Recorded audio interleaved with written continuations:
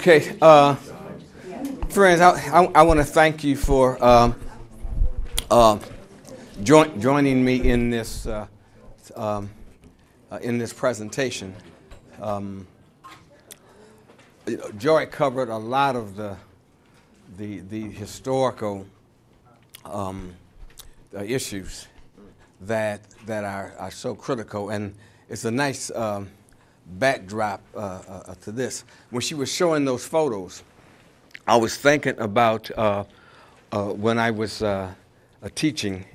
I'm a, re a, retired history professor. I taught for about 38 years at, at Michigan State, and beginning in the early 1970s, I taught a course called The History of Ethnocentrism and Racism uh, because I wanted students to understand uh, uh, ethnocentrism from a global historical perspective. And then uh, I spent time looking at um, racism in the, in, in, the U.S. This other tradition um, approach came about through years and years of not only teaching but research. And I just like to share a few things with you, and then I'll, I'll read a few uh, uh, pieces uh, uh, from several books that, that also help to explain this. Whenever I was teaching um, the, uh, the course on the history of racism, I noticed several dynamics. One was that um, when the kids left the course, um, uh, Joy talked about people being traumatized, okay? Uh, and my students were obviously very traumatized by all the history, especially when I would talk about uh, 100 years of lynching and, and, and, what have you. And the black and white students, when they would leave, oftentimes uh, they couldn't get a handle on, on what they could do afterwards, okay? And so, you know, I, I did that for, for, for many, many years. Uh, and then um, there was also a period when I, uh, I had become a Baha'i. I, I joined the Baha'i faith in 1962 uh, and um, was very much involved in race relations and race amity and, uh, and, and, what have you. I met Smitty, interestingly enough, when he was a teenager uh, uh, uh, in Greenville, South Carolina, where I was teaching a course. I was a, a student at, uh, at Michigan State, uh, actually, actually a undergraduate student in history. And so a group of black and white Baha'is went to Greenville, South Carolina to conduct uh, sort of classes for uh, black students who were going into um, the uh, previously segregated schools. And so I was a major in African history at Michigan State uh, and so I was telling him about African civilizations and what have you. And uh, Smitty was, uh, uh was there, but Smitty was older, but his younger brother was there. And so uh, Smitty talks about that experience and talks about how uh, he, you know, he was surprised to hear about African civilizations and the University of Timbuktu and, and, and, and, and what have you. Well, to make a long story short, uh, uh, uh, throughout the 60s, being involved in various aspects of, of, of race relations, Black Student Alliance at Michigan State, uh, and of course, you know, being traumatized by the riots of 1967 in Detroit. Uh, you know, I was there, and I can recall when the National Spiritual Assembly came to Detroit uh, and met with uh, a group of us.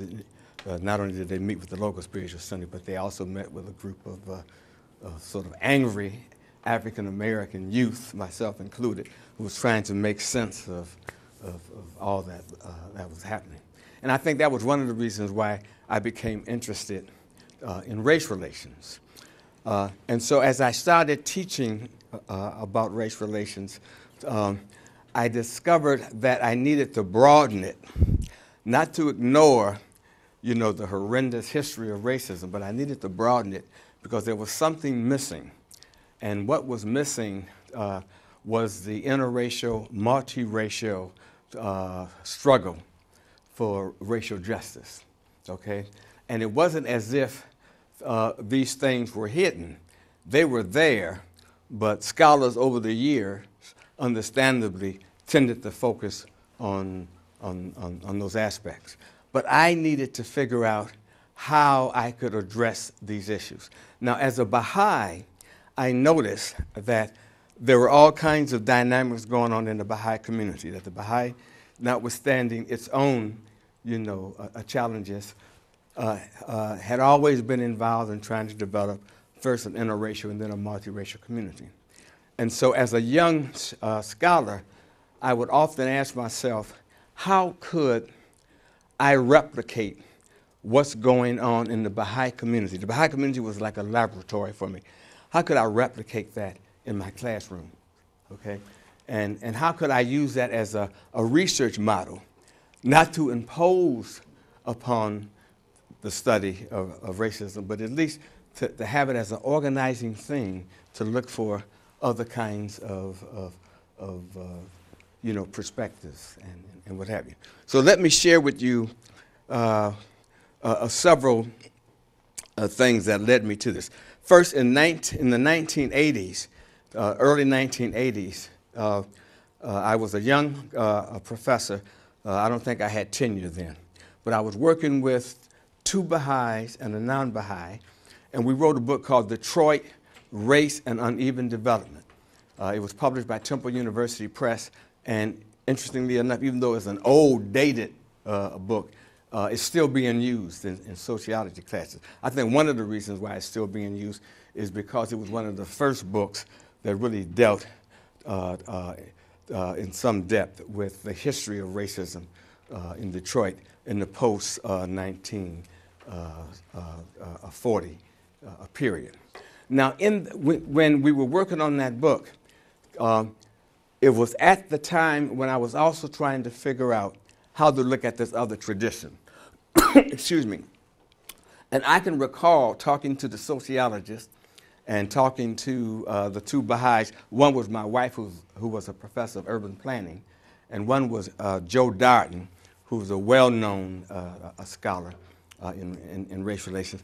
I was trying to, to um, uh, sort of explain to them the importance of not only working on or looking at racism in Detroit, but also looking at those efforts uh, of people to try to address racism.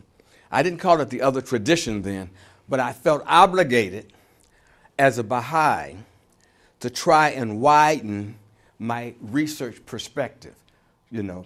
Uh, and it wasn't difficult to do because there were all of these people out there actually doing things. So I wasn't coming up with some fiction you see. But interestingly enough, there were colleagues both who were working on the book and who were not working on the book uh, who were arguing that, you know, you, there really is no history of interracial cooperation.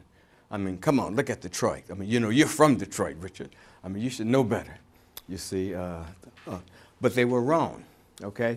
And so I started uh, working on the chapter in the book called Racial Conflict and Cooperation, okay? Um, and basically uh, pointing out to folk the role of interracial uh, organizations like Focus Hope, and I'll talk about them a little bit more, um, which was an organization started by uh, Father Cunningham and Eleanor Josaitis right at uh, uh, or during the post 1967 uh, riot. When that riot occurred, this minister or this priest and um, his assistant began organizing this group. To this day, they are still around and they're still doing very important uh, things. Uh, also, I uh, talked about um, New Detroit, which was another coalition, uh, and uh, they are uh, also still around. And this is well over 40, 40 years. Okay, and so these were the these were the the um, the, the sort of the, the starting points for this, you know, for looking at this other tradition. Now, one other point before I, uh, uh, uh go on. In the 1980s, uh, do you all recall the riots that occurred in, well, some of you might be too young, uh, but there were riots that took place in England in the 18, uh, I mean, I'm sorry, in the 19, in, in, no, in the 19, in the 1980s. I was teaching a course um, in England in 1976, uh, and they were sort of oblivious of, of you know, well, they, they weren't oblivious of race relations, but they didn't think it was a big thing. I was asked uh, uh, to return in 1981 along with uh, uh, Dean Joe Darden, uh, who was a Baha'i at Michigan State, uh, uh, and Milton Kilson from Harvard. Three uh, or four American scholars uh, were asked to, uh, to, to uh, visit the University of Warwick, where they were having a conference on race relations. I was asked primarily because of the work that I had done on Detroit okay? And my uh, uh, uh, paper basically focused on how interracial groups uh, formed after the riots of 43 and the riots of 67. And don't forget, these were the two worst race riots that had ever occurred uh, in an American city. And so that's one reason why, you know, they, they, they asked me to, to come and, and, and give a talk. Interestingly enough, when I was given the talk about what happened after that, there was still a lot of resistance. You know, people were, were, were still understandably uh, doubtful that anything could happen after a riot. And I can recall that there were, you know, uh, Afro, uh, you, you know, call them Afro Britishers or what have you, you know, you know, uh, who were very concerned about, well, you know, things will never get right. Uh, and I don't see, you know, how you could say that these things really occurred uh, after the riots in 43 and 67. But the evidence was there. Uh, the question might have been how efficacious these efforts were, okay? But still, I felt that it was very important uh, to continue the work. Then in the early uh, uh, 90s, uh, friends, and I, I want uh, to get some, just a few readers here, uh, I decided to um, um, uh, uh, write another piece. This was the, the origins of the other tradition. It was called the other tradition uh, in American race relations. And if somebody could just read the first paragraph there. This was published by the Association of Baha'i Studies. Um, uh, and it, it really deals with the history of racism in the U.S. When Joy uh, was talking about Thomas Jefferson, there's a whole chapter in there that talks about uh, uh, Thomas Jefferson, the premier, you know, race, uh, racial ideologue. Okay.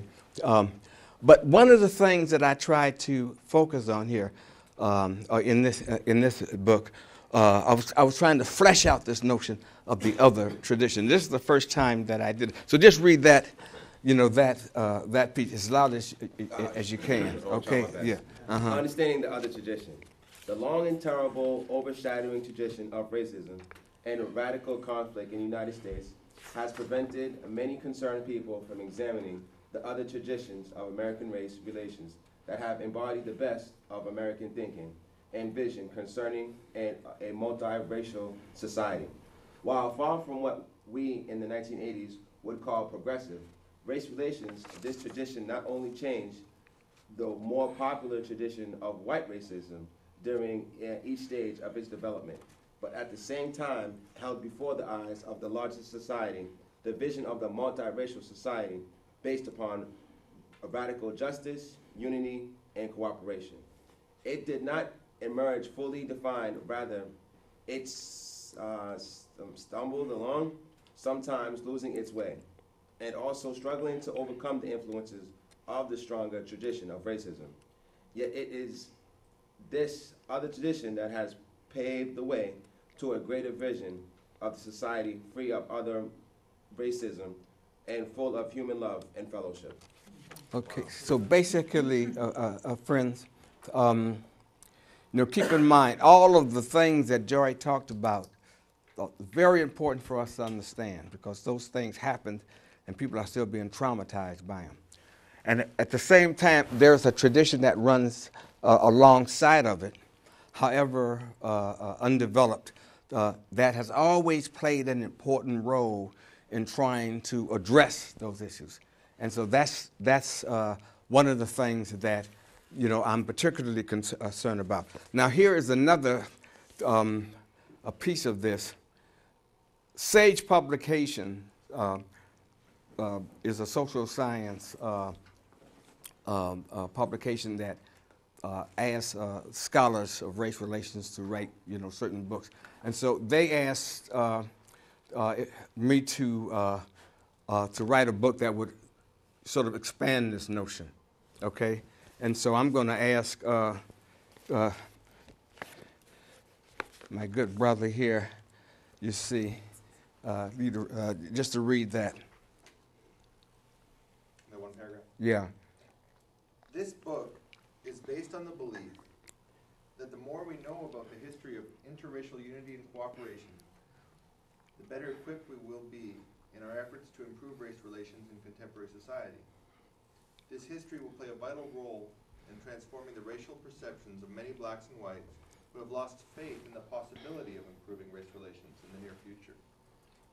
Blacks will come to understand that throughout the history of white racial oppression, white allies fought alongside blacks in the struggle against racism. In that struggle, many bonds of genuine love and affection were created, thus transcending the racist history that constantly bore down on them. Young African Americans today, whether on college campuses or in inner cities, who have lost faith in Dr. Martin Luther King Jr.'s dream of the beloved community of blacks and whites struggling together against racial oppression, might find in these pages convincing examples of how many blacks and whites struggled together for decades to overcome racial oppression. Now, understand, friends, that if you are teaching black and white and Hispanic and Native American students, uh, after you've done it for decades, you feel obligated at one point to make sure that number one, they have some type of perspective on race that will sort of help them to engage in the struggle, okay? Uh, and secondly, uh, you want them to understand something about this legacy. And so, what this essentially is, uh, and it's very, you know, there's a lot more work that has to be done. But this is just a look uh, at some of these examples. I have about, uh, about 18, okay, uh, but just some of these examples um, that I've used over the years to inspire students uh, to become involved uh, in, uh, in the struggle. Yeah. Uh, Without getting off track, I just wanted to quickly, if you could go back to the, the race riots in Detroit. Was there one incident that triggered it, or was it ju- obviously, it was accumulating, but was Yeah. there anything in particular? Well, hold that, hold that Sure, question. Sure. Yeah, we just finished a, a 900 page book on, on the race riots that will come out next, next year. But I'll deal with that. You don't want to get me started on that. That has been my area of research for 30 years. And I, you know, We'll make Smitty make it But- longer. but we, but we, but we, we, we, we'll, you know, uh, uh, we, we'll talk about that. But anyway, the, the, the other thing um, that um, I, I want you to keep in mind is that when you have young people um, depending on you to teach them about race relations, they're also dependent on you uh, to give them some kind of map to engage in race relations. And one of the things that I was particularly concerned about is that my black and white students oftentimes were, were, were so upset, okay, uh, that they didn't quite know, you know, how to pull together a map, okay, or what map to follow. And so that led later on to our uh, development organization called the Multiracial Unity Leadership or, or Living Experience, and I'll talk about that uh, later on. So here, here are some of the objectives. Uh, uh, help students understand the historical and social significance, significance of the other tradition. Inspire students to engage in, and this is very important, in activities that promote cooperation among racially and culturally diverse peoples. Uh, help students recognize the tradition at work in the present and encourage them to become involved in projects that promote multiracial cooperation and unity. And encourage faculty members to focus some of their scholarly and teaching efforts on multiracial cooperation and unity. Now, I've noticed that whenever I've given this talk, people have understandably said, well, uh, you're talking about cooperation among people. Uh, are you just talking about friendship groups and, you know, people, you know, having coffee together and, and, and what have you? Uh, uh, and what I tried to point out that many of the major movements that have affected change in the society have been built upon this multiracial uh, unity and cooperation. And we will identify, you know, uh, uh, several uh, of those, okay? Uh, this is also very important. Some of you might remember the conflict between black and Jewish faculty on college campuses when many uh, black student organizations were bringing Mr.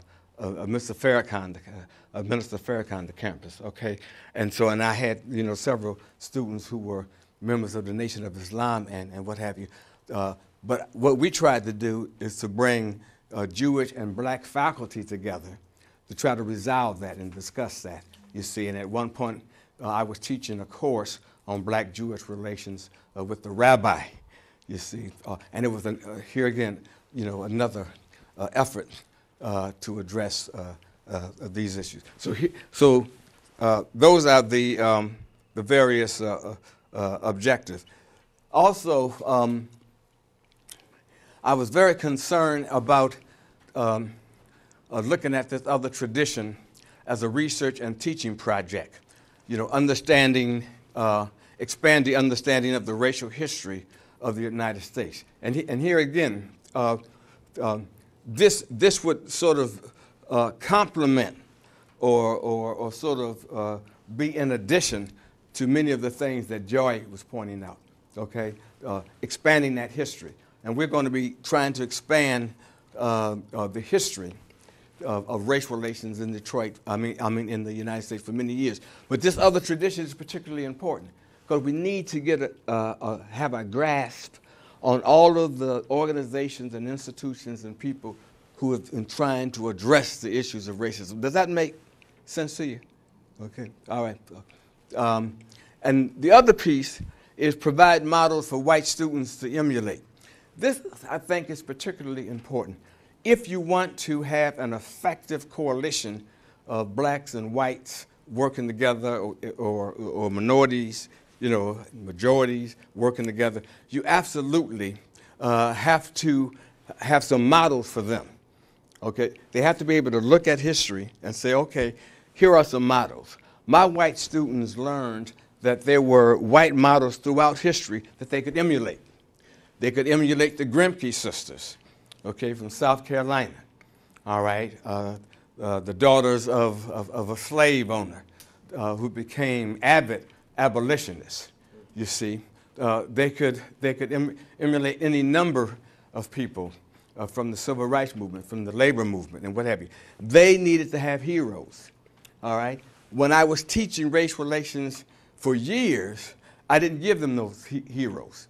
Okay. Uh, and you can imagine they were sitting there and they were, you know, seeing pictures of lynching and other kinds of things. And of course, you know, as a young professor, I was beaten up. You know, I had my big afro and my dashiki, and so I was running it on them. Okay.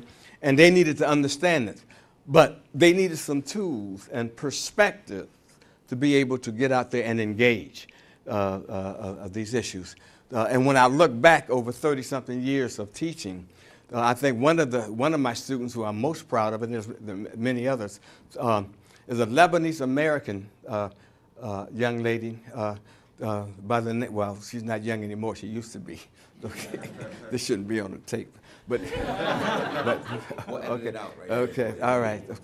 Uh, who was a professor at, at Michigan State, uh, and she and I founded a program called the Multi-Racial Unity Living Experience. You know, Professor Jean Gazelle, okay, uh, and she's been doing great things not only throughout the United States but throughout Africa. You see, uh, and she was in my first class. I think it was about 1972 or or 73, a little 17 year old Lebanese American young lady who remembered the riots uh, and was among several people uh, who took this class because they just needed to know something about race relations. But they also needed some tools, you see. Uh, and so models are particularly important. And then provide models to restore students of color trust and confidence in the protracted struggle for racial justice. And I want to emphasize this the protracted struggle for racial justice and multiracial cooperation and unity. And it's, it's protracted, it's going to take a while, okay? Uh, and this was particularly important because some of my, my, my uh, um, uh, African American students were a bit reluctant to talk about the history of racial cooperation. And my, my, my uh, black uh, graduate students who helped me with the research, as they were doing the research, they gradually began to find, you know, models uh, that, that they could, you know, uh, appreciate. Okay?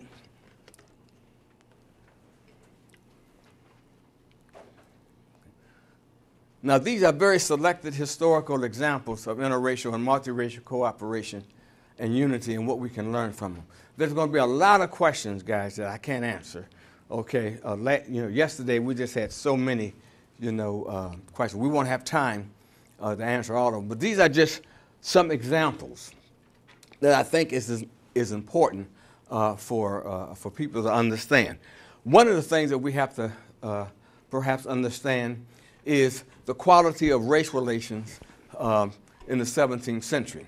Okay, what I found very interesting uh, uh, is that um, these two scholars pointed out uh, the, what they call the possibility uh, of a genuine multiracial society became a reality during the years before Bacon's rebellion.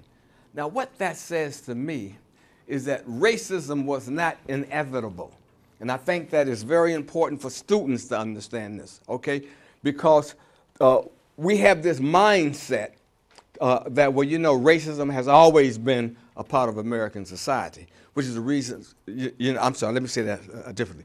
Um, that racism has always been a part of human society, and most certainly American society as, uh, as, as, as, as well.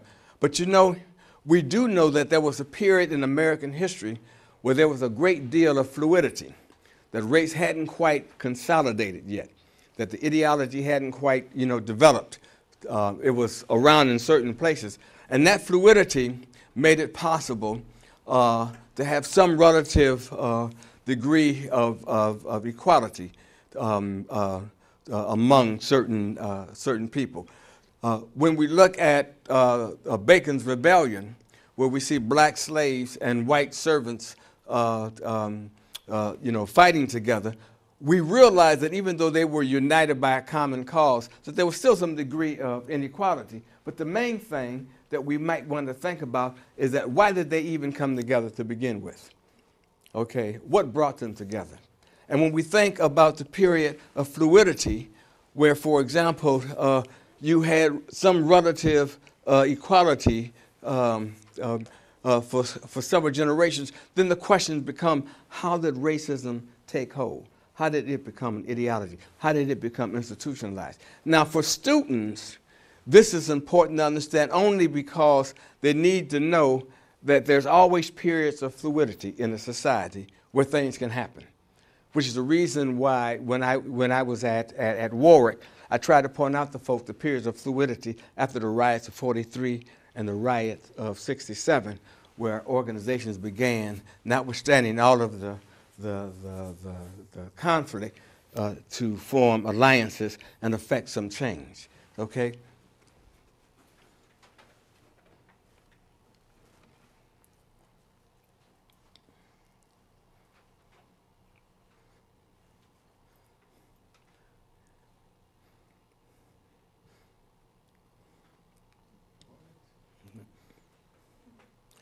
Now, this is, here again, this is why this other tradition of history is important. Most certainly, you had all kinds of racism during this period. Okay, and Joy has pointed that out, you see. But what do we learn from this? One of the things we learned from this is that when you remember that World War II uh, was a period where you had segregated units, right? Okay. What caused black and white soldiers uh, to fight together in the Continental Army. Okay. George Washington earlier didn't want to have any blacks involved. Okay. The blacks petitioned him uh, uh, and, and said that they wanted to, be, to become involved. But at the same time, it was because Lord Dunmore, a British general, uh, had also um, uh, convinced, or not convinced, but had had been approached by blacks, and, and so uh, uh, Lord Dunmore had black soldiers fighting on the side of the British. So you had these two these two groups of, uh, of, of, of blacks. Now, this integrate, integrated uh, war experience uh, contributed to the emergence of the anti-slavery movement.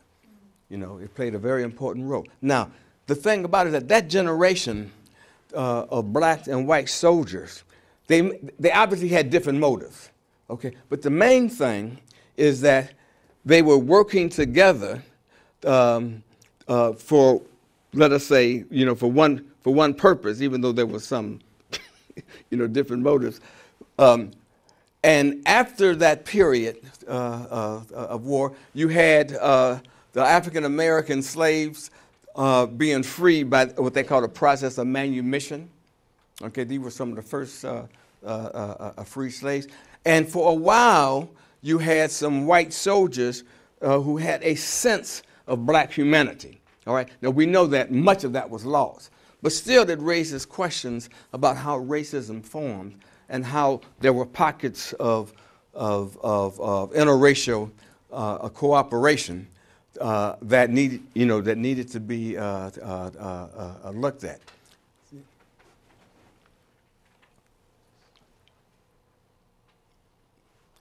If any of these examples need more explanation, you know, uh, uh, just uh, you know, feel free to raise some questions. Could you give us a name of s- some thing to follow up on, on the, um, people who got involved in the movement from the Revolutionary War? Some, I'm sorry. somebody- you mentioned in your last slide that some, the Revolutionary War helped to start out the, um, the, uh, anti-slavery movement. If there's any names that we can follow up on in the future, from like some of the names who were part of that leadership? Okay, can I uh, write, write a note down and I'll, I'll, I'll get back. to th- And then also, uh, Lex, uh, uh, you can flip through that, that piece there on the, on the Revolutionary War, and then I'll get, I'll, I'll get back to you. The, the anti-slavery, the anti-slavery movement, um, this was the first large-scale opportunity for the development of black-white cooperation in the long struggle for racial justice, interracial cooperation in the Underground Railroad, and racial tension uh, tensions as a developmental stage of, anti, of, of the anti-slavery movement. I think that this is particularly important because even though uh, the anti-slavery movement was the first interracial uh, uh, movement for racial justice, and we have to put racial justice in, in, um, in quotes because we know that there were some abolitionists uh, who were anti-slavery but who were not for, for equality of, of blacks and whites, okay? And we know that there was also tension between, you know, uh, uh, abolitionists like, you know, uh, uh, uh, uh, Fred Douglass, you see, and tip of my tongue, who was his buddy? No, no, yeah, yeah, yeah, John, but there was, yeah, yeah, obviously, yeah, conflict between, but there was, uh, uh, it'll, it'll come to me. The, the, the, uh, I'm looking right at him. William Lloyd Garrison. William Lloyd Garrison. Oh God, what am I saying? Uh, William Lloyd Garrison. Yeah. So we know there was some. That, we know that there was some tension between them, and so many people will raise the question uh, about um, the, lit- the legitimacy of, of the anti-slavery movement as a major movement uh, of white cooperation. Uh, I mean, of interracial cooperation. But what we would say is that, look, most certainly you, you saw blacks and whites cooperating in this movement, and most certainly uh, uh, blacks benefited a great deal uh, from it.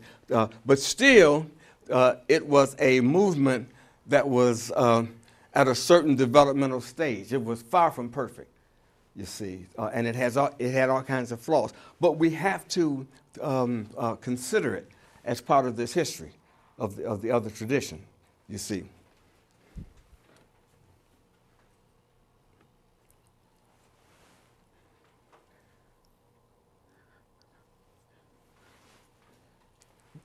This is this is a model, uh, or I should say, um, an example that some black uh, um, uh, black and white students tended to uh, um, uh, really internalize.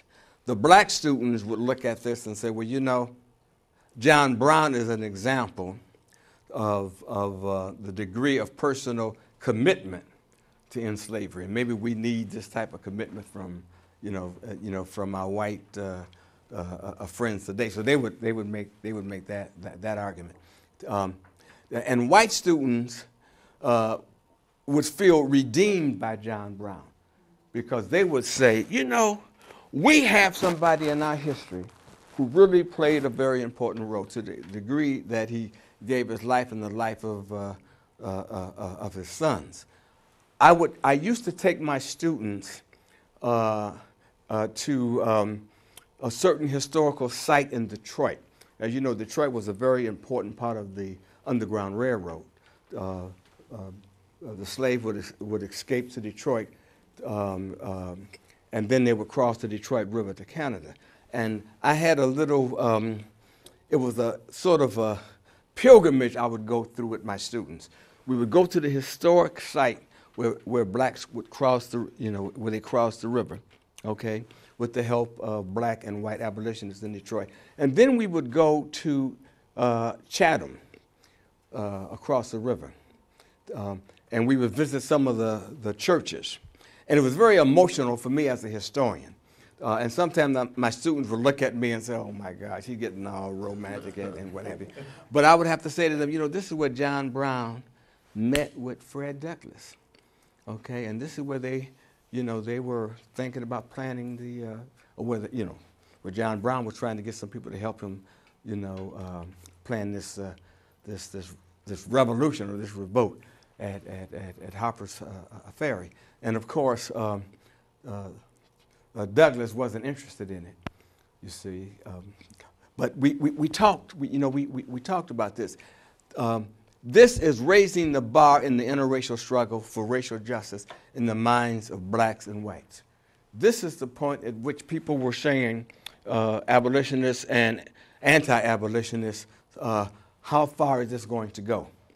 You see, John Brown, you know, raised the bar, you see. And, and my white students would look at this and say, okay, he's our hero. And the black students would say, okay, this is one example. Might be an exception, but this is, this is an example of what some whites are willing to do. Richard, you know that John Brown was a pretty wretched person. Well, he has, he had his flaws, yeah. I mean, before, I mean, before he, before he saw the light, hmm he was, he was really wretched, and I think we need to keep in mind, you see, I mean, I get very nervous when you talk, start talking about him being a role model for the white students. hmm I get real nervous about that. But, but- this is what we have to. Probably because of my heritage. Yeah, yeah, yeah. This is what we have to remember, though, Dwight. Uh, notwithstanding some, you know, some of his flaws. I, I'm, I'm yeah, you. yeah, okay. In terms of what he did. Yeah, yeah, But I'm just yeah. thinking, it's always important Mm-hmm, to point out that this is an evolutionary process mm-hmm, and that we're all a part of this Mhm. constant tension of perfection and imperfection. yeah, and that, yeah, and that's why earlier I talked about the abolitionist movement as, as sort of a developmental kind of a thing. You know, beginning with some people who were only interested in moral suasion.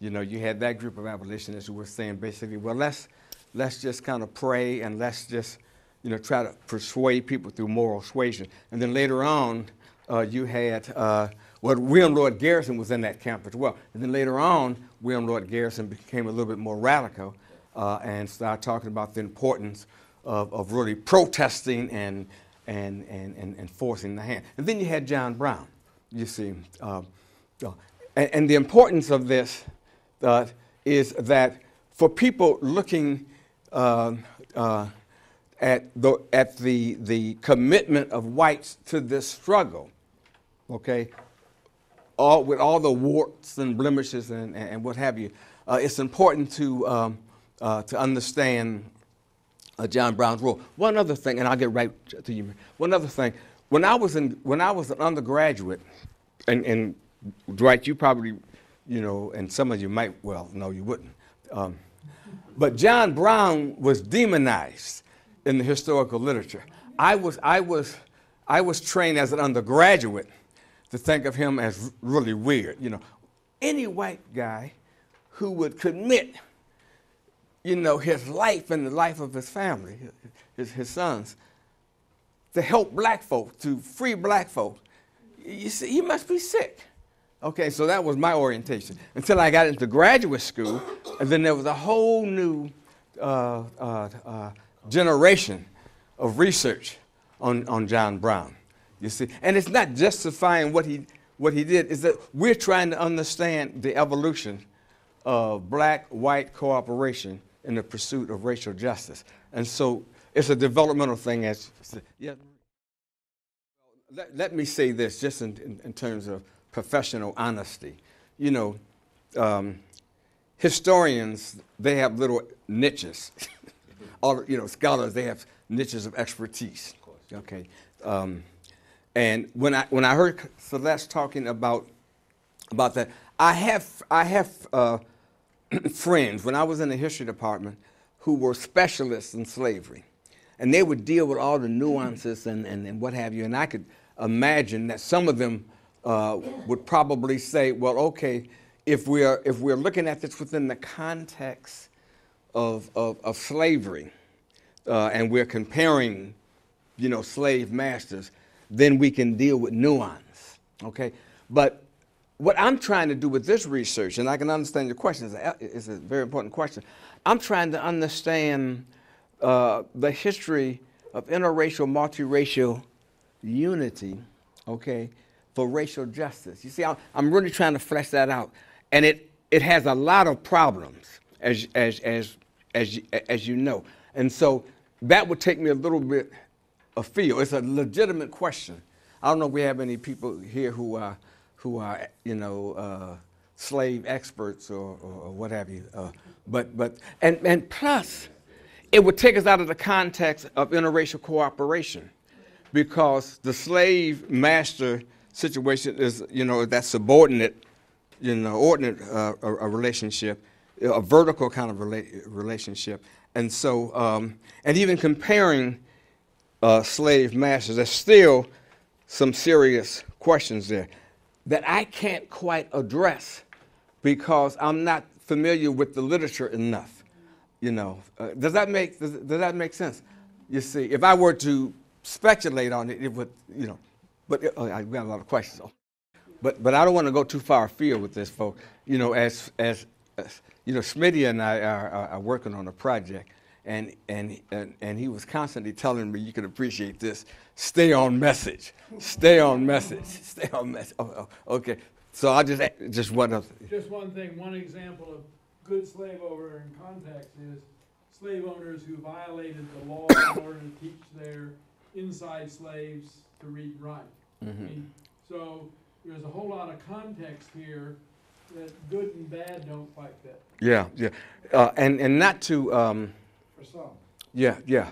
There's a there's a v- there's a vast literature, and this question would have to be discussed within that within that that context. And I'm glad you you know, for, you know for, for you know for your work, it would be really some you know important to tease that out, and the raise and the and the raise some some you know some some some questions about it. Yes, I know Rebecca. you're trying to get back to your main Okay, point. that's okay. I'll be brief, but I just think, Eddie, your question is really important, and to me, it's not actually a historical question, it's a question about, is there moral relativism about slavery? And I think the answer is no, I would never personally use the phrase good slave owner. I would say there were slave owners who showed signs, small signs of resistance that were just described, but that, I would just not personally ever put those two words in the Mm-hmm. same sentence, and that's just about morality, not about history, Mhm. you know what I'm saying? hmm Yeah, but there's a lot. You know, you you look at the Grimke sisters. This is it. Okay. Oh, okay, okay.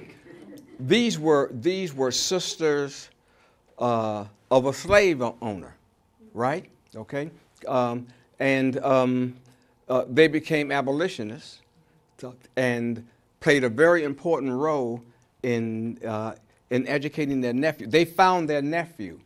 You know, when we think about Grimke, yeah, in fact, before, I, before one of my white graduate students in women's studies, when I was working on, on that, that book, uh, she said, you know what, Richard, you need to know more about women and, and, and the Grimke sister. So, so she, you know, she, she made me read that big book, and she, you know, so I, before I could finish the, the project. But it was so interesting because of the transformation that she went through.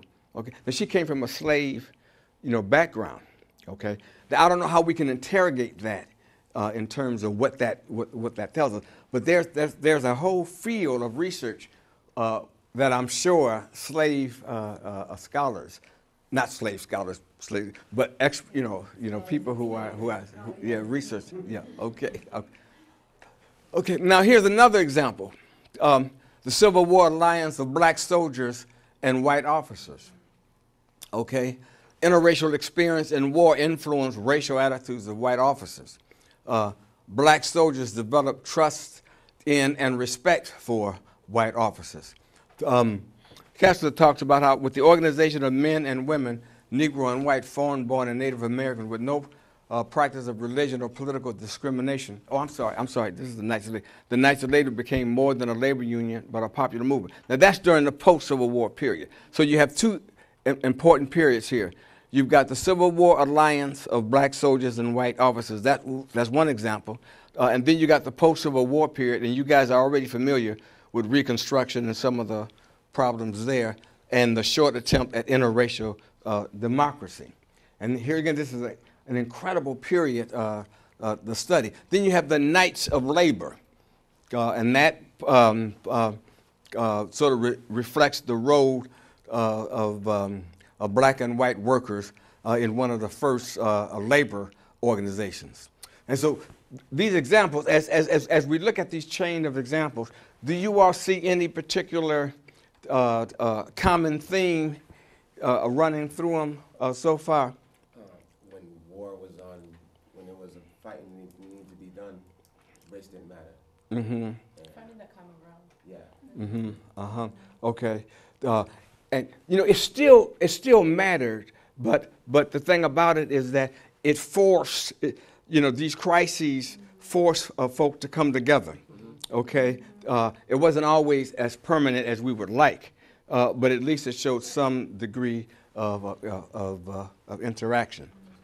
That those walls can come down or something. Yes. Yes. mhm. So captains and first sergeants, Mm. you know, they really interacted, you know. Mhm. First sergeant in the Civil War represent eighty African soldiers in the United States colored troop. Mhm. And the captain would be the European descent officer, often 18, 17 years old, trained right here in Philadelphia.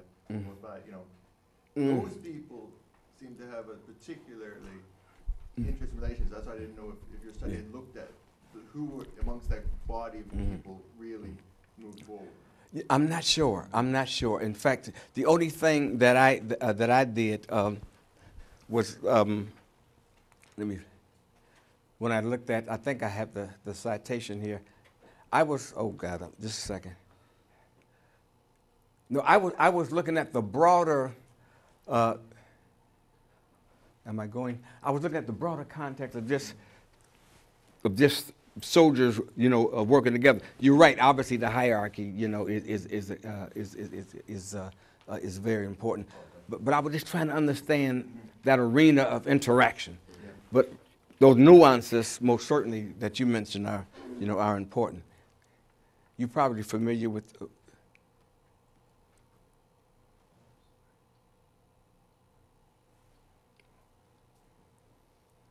I was okay. It's okay. Unless you, uh, you can also uh, look up that citation uh, in there as well, and see what, uh, you know, what I what I did with that. But that's also that's also similar to uh, black black soldiers. Uh, I'm sorry. Black soldiers, white officers during the Revolutionary War. You see, yeah. So that that uh, stratification in terms of officers and first sergeants and all of that, that is that that is that, that is key. Everybody knows about the um, NAACP, okay, uh, and the um, how this was uh, and still is uh, one of the oldest uh, civil rights uh, organizations. Um, the longest record of interracial and multiracial cooperation and, and unity. It was called the, the New Abolitionists, you see. And, and, and, and you have Moorfield Storey and uh, Mary White Ovington and, and W.B. Du Bois. And there was still some conflict within the NAACP among, you know, um, the various uh, uh, uh, black and white uh, members. And you all know the, uh, the conflict that W.B. Du Bois had with some of the officers of the NAACP. But what does it represent? It represents here again a developmental phase of interracial uh, cooperation.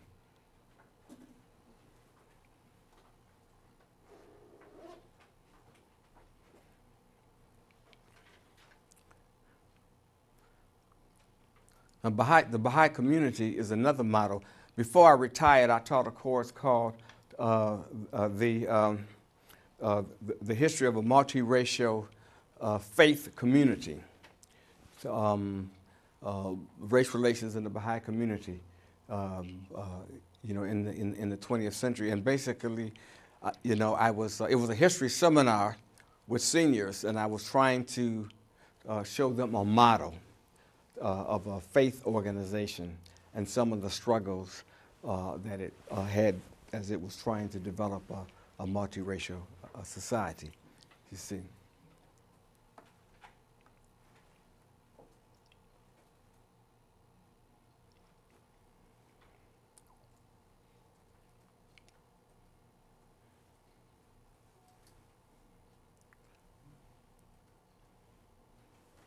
These are two interesting examples.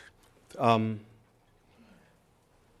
when we look at this interracial coalition in the Democratic Party, um, we see um, two very important features that, that, that uh, we need to understand. One is white political expediency.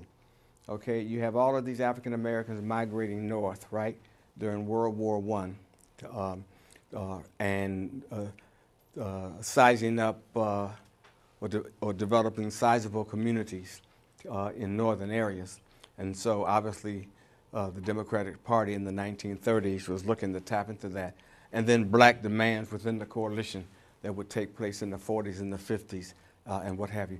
In this, in this Sage book, uh, I, I talk about uh, black expectations and demands within these coalitions. I can't, you know, talk about all that, that now uh, because I think it's very important to understand that as we see the development of these multiracial, you know, uh, coalitions and organizations, what have you, within these organizations and coalitions, there's all kinds of tension going on, you see. And that's important to understand because uh, we can't assume that just because you have blacks and whites working together that you don't have that tension, you see. And so when we were doing research on the book, uh, it became clear um, as we were having these weekly seminars uh, to uh, tease these things out.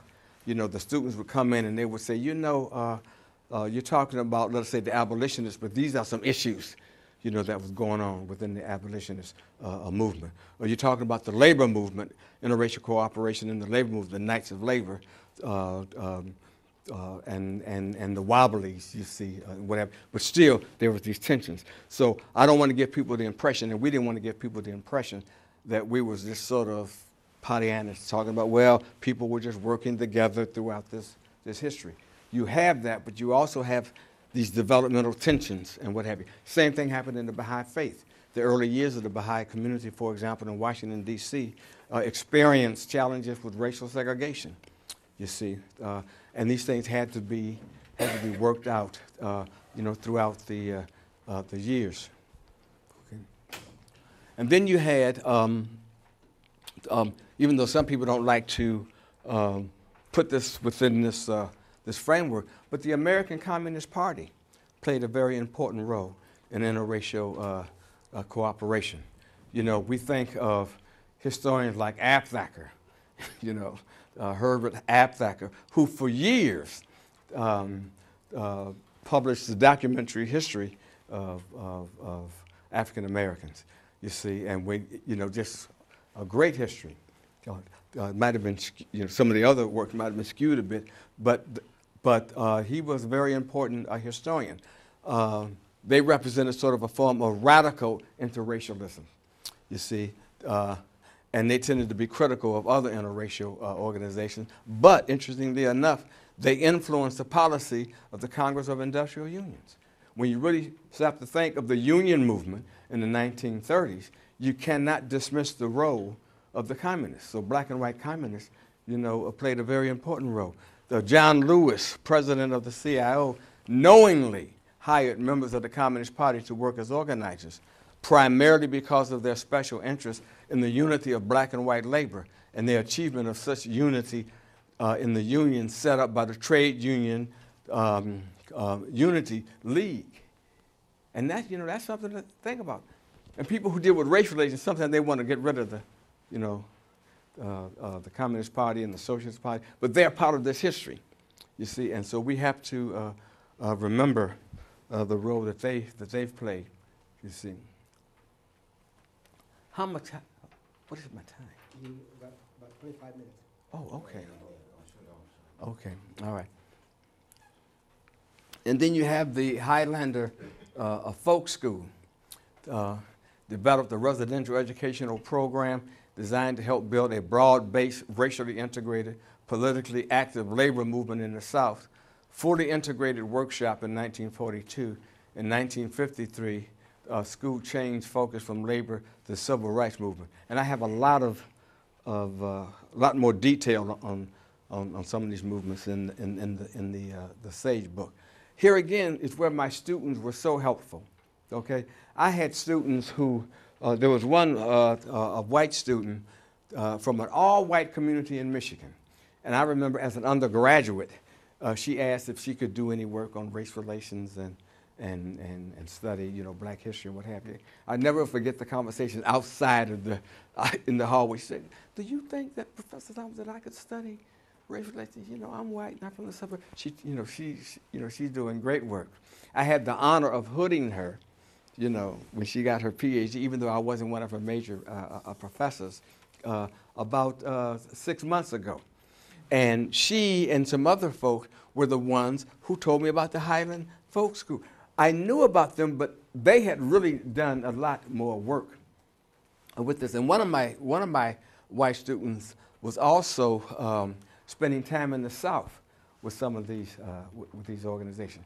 And so, you know, I can't emphasize enough what what happened when I started doing this research and asking students help. Many of them didn't want to because they said, you know, we're not we're not interested in, you know cooperation and all of that. And I could understand that. But they had already taken many courses from me over the years dealing with the history of racism. So they knew that I knew the history of racism, but they also realized that, well, you know, we have to, maybe we should help the old professor. You know, he, he's, yeah, I don't know what he's doing, but, you know, he, he might be helpful. Marie, did you have your hands up? Oh, I'm sorry, yeah, yeah. um, Where was the Highlander Folk School located? Oh, my, was it Nashville? Nashville? Check out my book. God, you know, it's in there somewhere. Good thing you made this book. Yeah, yeah, because my memory is good. Yeah. Somewhere in the South. That's not good enough, is it? oh, okay. Yeah. Mhm. Is it Alabama? Well, anyway, somebody can. Okay. Okay. Um, okay. All right. Great. Great. Okay. Newmarket. Newmarket, Tennessee. Yeah, you, you know, we might have certain views about progressive movements in the South, but um, um, here again, we see several uh, uh, organizations that were, unless you, you know, you and others might, might, might know, know about this. Here we have the Southern Conference for Human Welfare uh, and the Southern Conference, uh, Southern Conference Educational Fund, uh, uh, founded in 1948.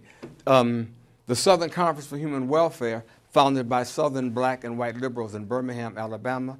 The primary purpose helps Southern whites to understand that to remove limitations on its black citizens was to ensure the region's uh, greater uh, prosperity. Recommended radical reform, abolished, uh, uh, uh, they recommended to abolish the poll tax, uh, and in 1948 passed torch to the Southern Conference Educational Fund.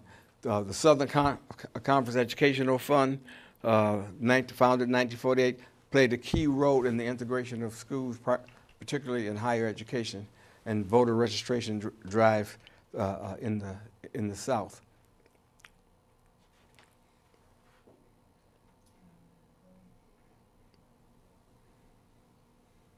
this is this is one uh, example that I'm particularly uh, uh, just very fond of.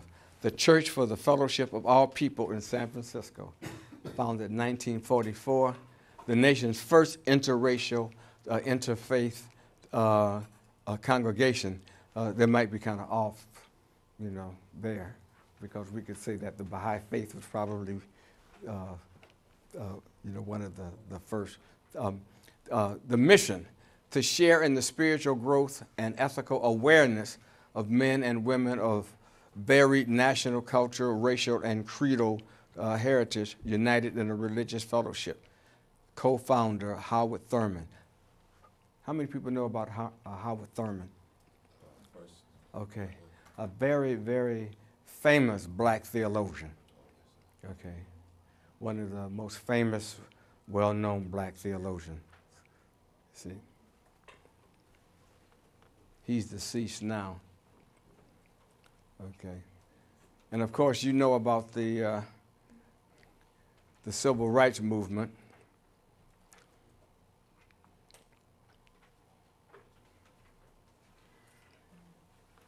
One of the things that excited my generation in the 1960s, even though we were conflicted uh, because we had both Malcolm X as our hero, you see, and Martin Luther King as you know. So we were we were conflicted in the uh, uh, uh, in, the '60s. But you, you know, this notion of the beloved community uh, really meant a lot uh, to us. I think I told some of you about when uh, black and white uh, Baha'i youth went to uh, Greenville, South Carolina uh, in 1964 you see, and the black Baha'is stayed with the white Baha'is, um, and, and, and the white Baha'is stayed with the black Baha'is. And it was my first uh, extended visit to the South, and I was petrified. I was very, very nervous. And I can say this now, so you might have to, you know, uh, but I remember staying with a white Baha'i um, um, uh, a, pediatrician and lawyer, and they wouldn't, they wouldn't, uh, lock their doors and say, you know, people, you know, some people pass through, they don't have any place to stay, you know. And, and black folk, you know, some black Baha'is, when they pass through, they don't have any place to stay, so we leave the doors open.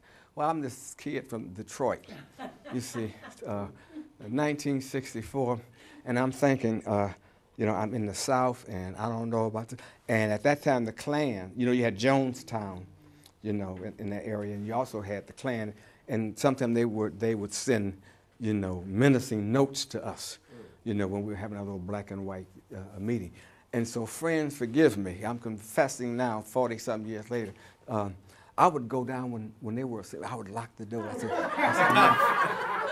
I said, maybe they can just knock a little. but I can't, I cannot, you know, this is, I'm, I'm the only black person in this all white household, you see, and I just got to, you know, so I'll just listen, and if I hear somebody, you know, knock out, I'll, I'll come. But that that was a very important um, uh, uh, experience, um, and um, this notion of the beloved community meant a lot to us. Uh, uh, Northern white students working in the South, the Freedom Summer of of, uh, of '64, and that's one reason why we, you know, some of us uh, uh, went there. And there's some other stories that you know. I, maybe I can, I can share with you. Multiracial, multi-faith freedom marches, the impact of the black movement on interracialism, you see, in civil rights uh, uh, organizations. And so this movement is important mainly for my generation because it's so informed our notion of race relations, and it was our first example of uh, interracial cooperation. I remember uh, one Sunday, uh, in uh, 19, summer of 1964. This was, we didn't know if those three civil rights workers, you know, uh, uh, had died. They had gone missing. But this was also the summer when they, when, when in Athens, Georgia, they killed that black captain. And so there was a lot of violence going on. And I can recall uh, David Rue, bless him, who had just passed. Uh, um, I mean, Doug Rue, Doug Rue. Doug Rue and I decided, uh, Doug was a, white Baha'i, we decided that we were going to go uh, to a restaurant and have breakfast.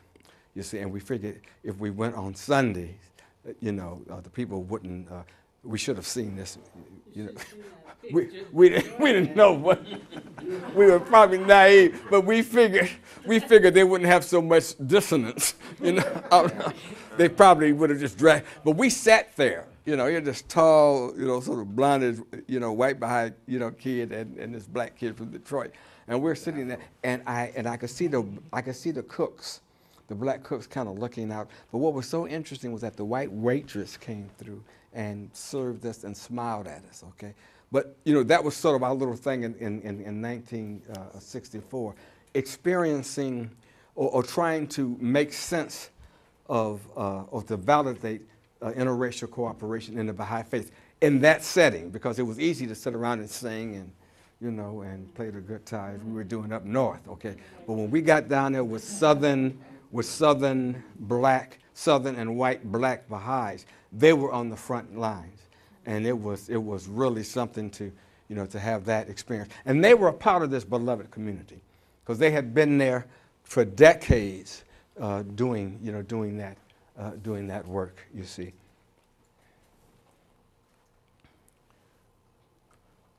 A reading on my time again.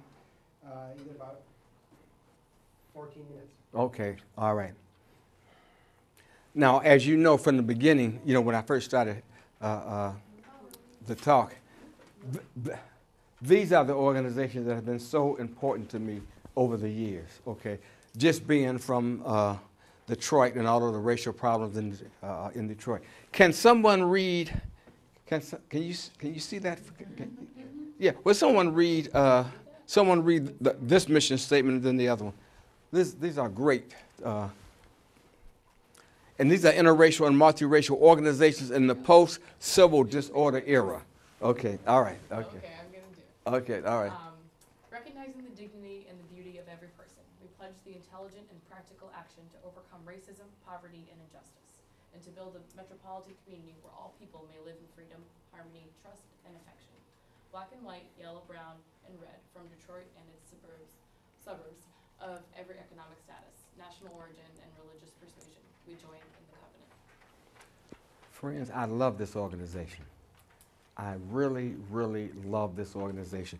This organization is, if you ever uh, uh, uh, get to Detroit and you're interested in race relations, check out Focus Hope, okay? Because it is an example of not just people coming together, it's an example of economic development. Because uh, uh, Focus Hope established, um, they've got an industrial technical center that they developed to train minority uh, folk. They have a Montessori school uh, for the workers. You see, uh, it's a very, very impressive uh, uh, uh, multiracial um, a project, and it includes all kinds of, of, of people.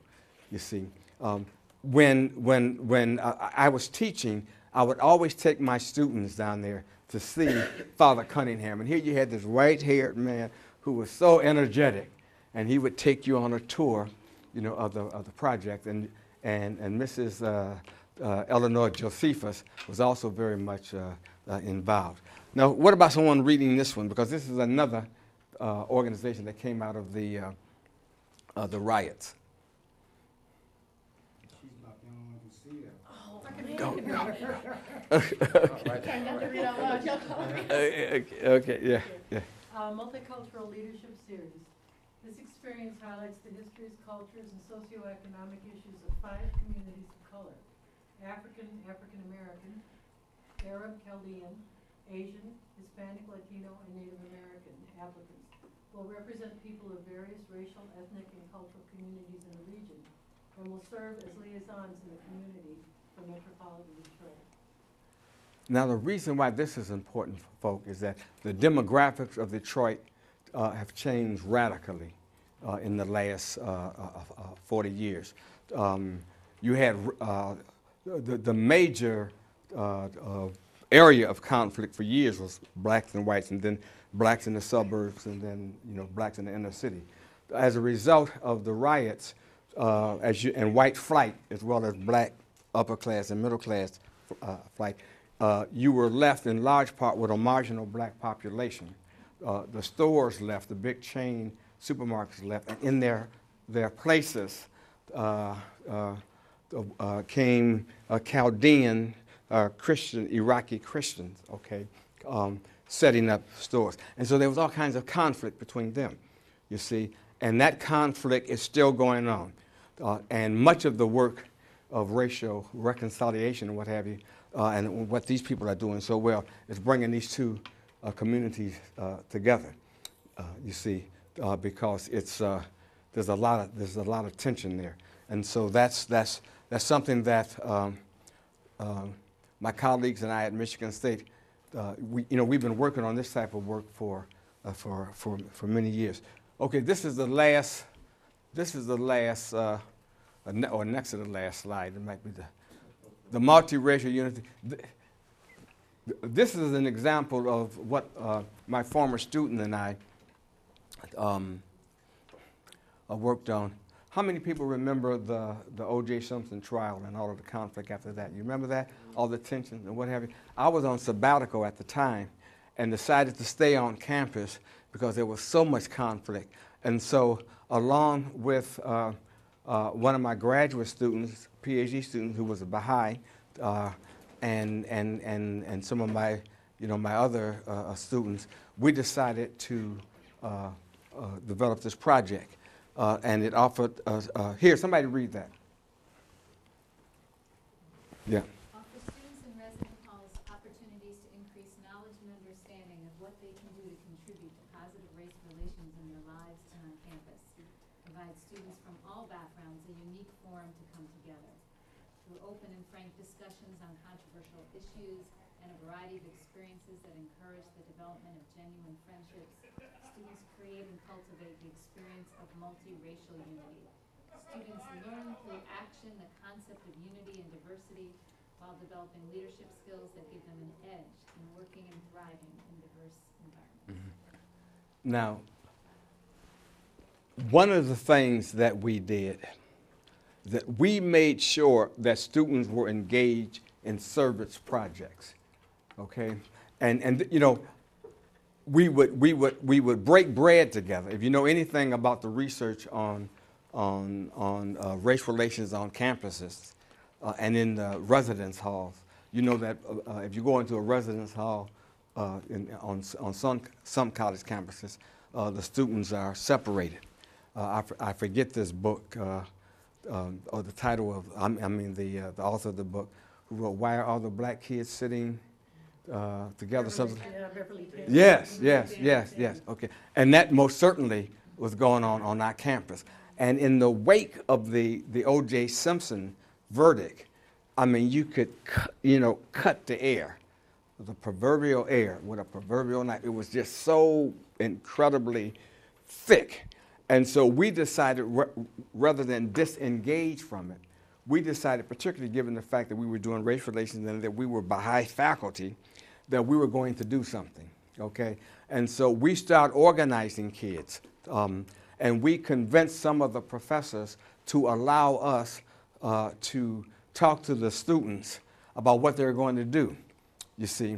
Uh, and Ed, you would appreciate this. Uh, first of all, we hit them with a little guilt. We said, you know, these are the things that we did in the 60s. Okay, uh, what are you guys going to do now? We got to pass the torch to you. What role are you going to play to address these issues? And so we said, what we would like for you to do is number one, is to have dinner once a week, all of you together with you know several faculty members, and then after that we would we'll go and we will uh, try to discuss these issues. And the con, you know, the issues that we discussed were really really painful. Affirmative action was one, okay. Um, um, the whole use of the N word was another. Uh, interracial dating was another. I mean, it was very, very difficult. Uh, after we moved them through that process, we took them on field trips uh, to various uh, places. In the end, um, uh, we took them to South Africa, where we taught a course on comparative race relations uh, and um, had a chance to interact with various folk there. Uh, after I retired, my former student who you know, had finished her PhD started taking these students back to South Africa to build homes. you know, uh, she was very, she got them involved in the, in the, uh, in the various uh, uh, uh, AIDS projects in South Africa. And I was never so proud of her when she called and said, we're at the airport and we're on our way, you know, to South Africa to build homes for some of the, for some of the orphans. So, um, uh, and so, and this is still going on. If you guys um, uh, have a chance, you can, you can uh, Google this. Uh, and, and her name is Dr. Jean Cazell. And, and she's still doing great work. This is the last one, and then we'll have some questions. Okay? All right. Now, here, here are the questions that, that, that, uh, that can help to uh, stimulate some takeaway. What is the vision? What are the needs? What types of strategies, actions, and alliances should we develop? How can we understand the history of interracial, multiracial cooperation? Or how can understanding the history of interracial, multiracial cooperation help us in this, in this process? You see. And so this is what I, what I try to um, get people to think about in terms of uh, things that need uh, uh, to be done. You see.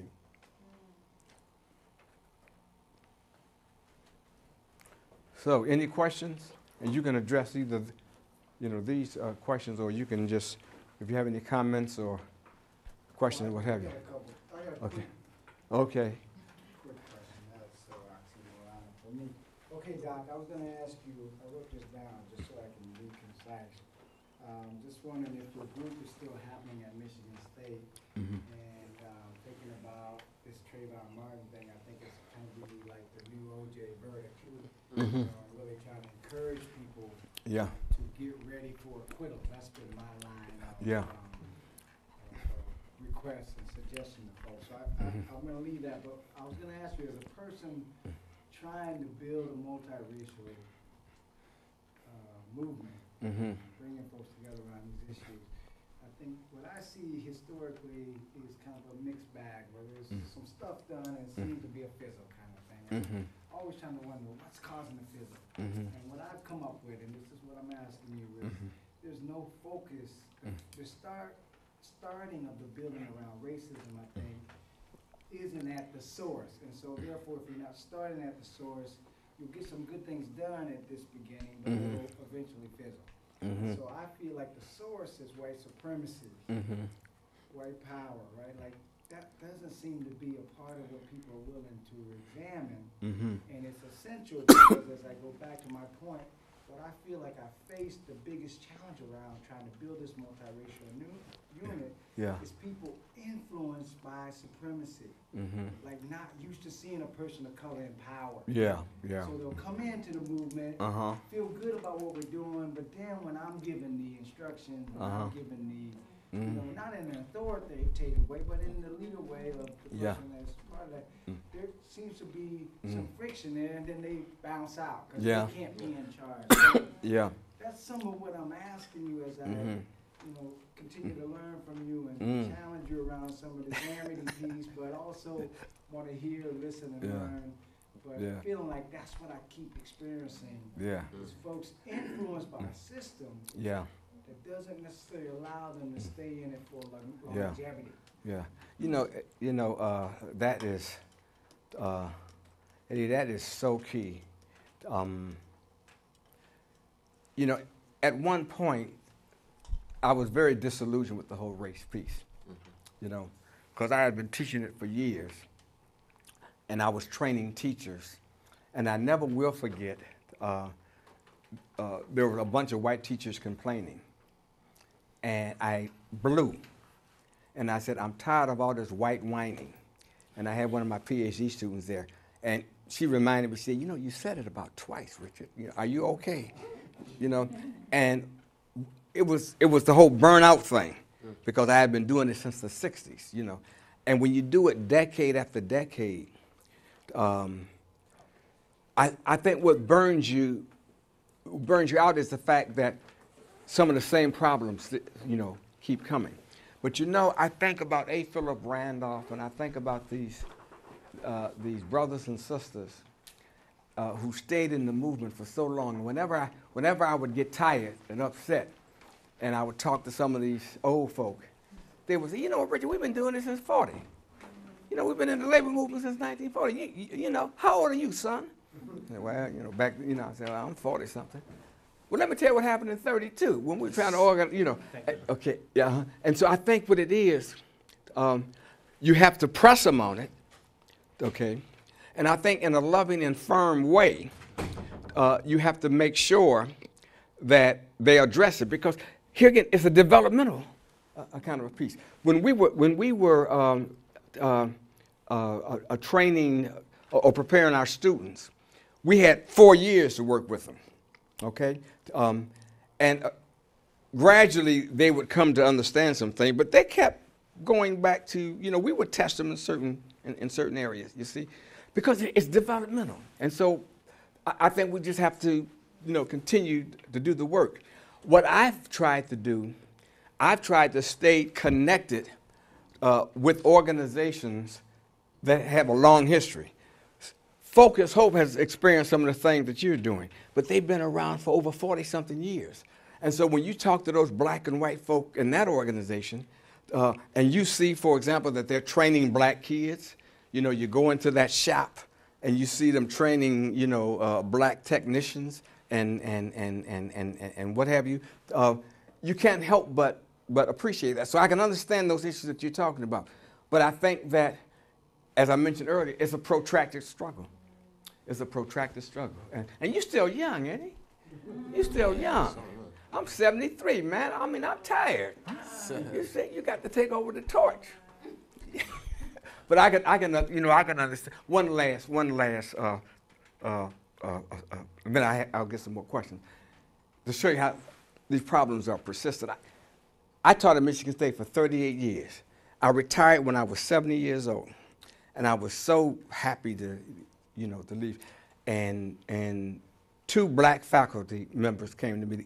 One was going up for full pro- professorship, and the other was going up for associate professor. And they said, uh, "You got to stick around, Rich, long enough because you're the only black full professor left." You see, uh, so you got to stick around long enough you know, to help us get tenure. And I never will forget walking into that last meeting and people looking at me as if to say, oh my God, we know why he's back. You know, you know, we thought he retired, but he's emeritus, and we know why he's back. He's back to protect these young black, black faculty. And I knew that they felt that way, but that didn't bother me because I knew what I had to do, you see. And so at, at, at one point, I think we have to realize, and this is where the history helps out, okay? We have to realize that it's a protracted struggle, you see. Uh, and, and like I said before, whenever, you know, I found myself getting tired in the 60s and the 70s, uh, I would think of A. Philip Randolph. I would think of these, you know, uh, uh, th- these folk who've been in the struggle for years. Uh, and I was figuring, well, you know, uh, I just got to stick it out. So you're a warrior, brother. You know, you got, yeah. Planting seeds in a lot of white people too. Oh, yeah, See where that leads. yeah, yeah. Can I just say one other thing? I probably, Oh, no, no. okay. What has been very, and I'm glad you mentioned planting seeds, you know, in, in, in young whites. What really, really, really warmed my heart over the 30 some years that I, that I, that I taught was uh, uh, uh, being at a reunion and seeing my black and white students say, you know, we still connected with so and so. You know, we're still doing some great work, and we produce some radical black. I mean, uh, black and white students. You know, w- you know, our students were out there doing some incredible uh, things. One of my white students, who was very going through some racist, you know, uh, uh, situations in the classroom, when, when when we finally got him out of that that particular situation, he went to the Upper Peninsula of Michigan, all white. Here's this little blonde, you know, a blue-eyed kid, and he called me one day, and he said, "Professor Thomas, how are you doing?" I said, "Fine." You would not believe what I'm doing. He said, "I'm teaching race relations up here in the up here in the UP," and he remembered an example that we had in the class. We read we read um, um, it's a book. It's not by Maslow. The book on prejudice. Is it Maslow or the uh, uh, Allport. Greg yeah. Yeah, yeah, yeah, yeah. And we read that book on, uh, and he has a concept in there called refencing. You probably remember that concept. Where, for example, if you're really prejudiced, and then, uh, you know, if I should say, well, you know, uh, uh, uh, you know, Ed is a great quarterback, uh, and if, if, if you and it go, goes out there and perform, then I said, wow, you know, I, you know, I, you know, I was racist. I didn't think, you know, uh, he could do some of the things that he could, you know, that, that, that he's doing. You know, uh, he's great, but he's not that great. But you know, he, he's doing all right. Then maybe after five or six years, I would say, okay, if I if I were president, well, I guess you know, black folk can make great quarterbacks. But now, if I if I'm if it's really deeply ingrained, then I'll start refencing. I'll say, well, you know, only reason why, you know, the, you know, Ed is a, a, a great, uh, quarterback is that his grandfather's white you know, and uh, and so his, his you know he's you know he's kind of you know he's kind of mixed, and so that's why he's a, that's refencing, you know. And so this young this young white kid, when we talked about that in the class, came back to the class, and this was an all white class. Many of my classes were all white for years. okay, uh, and then gradually I got some, you know, because some of the black students said, "Man, we don't want to be talking about racism," but then gradually the black students came in. Okay, but but, but one of the things that helped him was that who was this great black um, uh, quarterback? One of the first black, uh, uh, uh, was it Williams? Doug Williams. Doug Williams. Doug Williams. And so he told the story of Doug Williams. He said, You know, Professor Thompson, he told the whole class. He said, My father never believed that blacks could make great quarterbacks. He said, But when he saw Doug Williams, you know, he got rid of his, you know, you know that that now he, he didn't cease being racist, but at least he was willing to let go of that particular racial stereotype. Now now this white kid is up in the UP, and he's telling me years later, I'm really testing my students. They're all white, doc. But you know what? You know, I'm, I'm really teaching them, and thanks a lot. Now that was a seed, and I remember when when I walked into that class and they saw a black professor, my first the first thing I said to them, I know you kids have never had a black professor. All right? So don't drop out.